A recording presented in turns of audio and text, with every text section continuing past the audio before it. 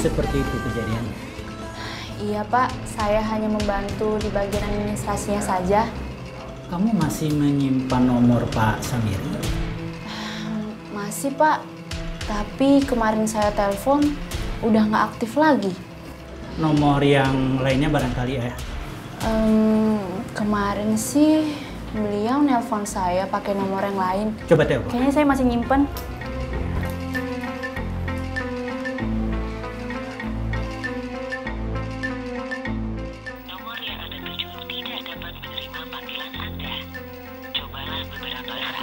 Yang ini nggak aktif Pak.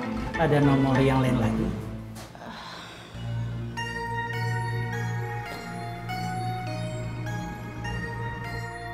Nomor yang Anda tuju tidak dapat menerima panggilan Anda. Cobalah beberapa Ini nggak aktif juga Pak. Coba nomor yang lain lagi mungkin kamu punya. Sebentar ya Pak, saya cek dulu. Ada satu lagi nih Pak.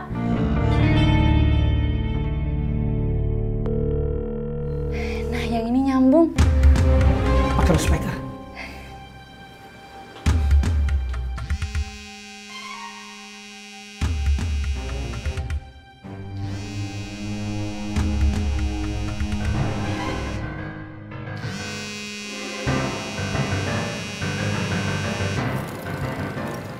Assalamualaikum. Waalaikumsalam Pak.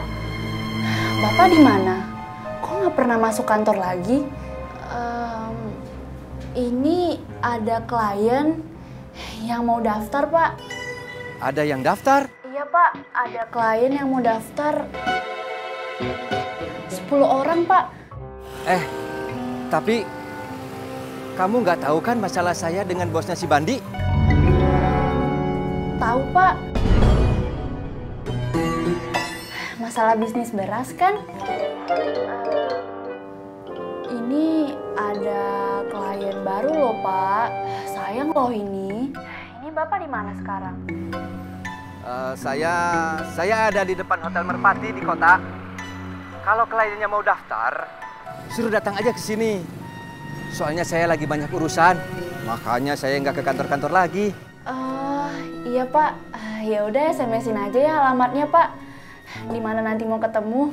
Ya, ya, ya nanti saya SMS. Baik Pak. Assalamualaikum. Waalaikumsalam.